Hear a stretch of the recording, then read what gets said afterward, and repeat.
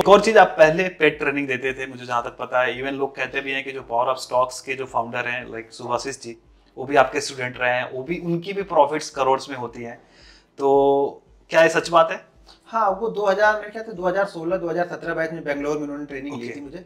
लेकिन देखिए आप यही चीज़ आप वहाँ पे अंतर देख लीजिए। मैं एक ऑप्शन बायर हूँ। मैं ऑप्शन अच्छा। बाइंग करके पैसा बनाता हूँ वो ऑप्शन सेल करके पैसा बनाते हैं। तो मेरा मैंने क्या बताया कि मैं बेसिक चीज़ें बता सकता हूँ। उस ट्रेनिंग प्रोग्राम में ऐसा तो नहीं कि सिर्फ़ सुभाषिस आए थे उस ट्रेनिंग प्रोग्राम में और और भी भी पचास लोग आए हुए थे। हम्म। वो लगभग मेरे ख्याल से साठ से सत्तर लोग का बैच था तो और भी पचास लोग आए हुए थे। लेकिन वो उस बंदे को क्रेडिट जाता है ना उस बंदे ने वो मेहनत की।